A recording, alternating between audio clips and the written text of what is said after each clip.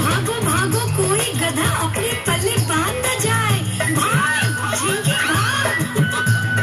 वहाँ मुफ़्त की रबड़ी खाए देखो रजू दाओ मक्खी उड़ाए रत्ता बताओ भगवान करे वो सुखी रहे और उन दोनों का साया भी हमसे दूर रहे। हर वक्त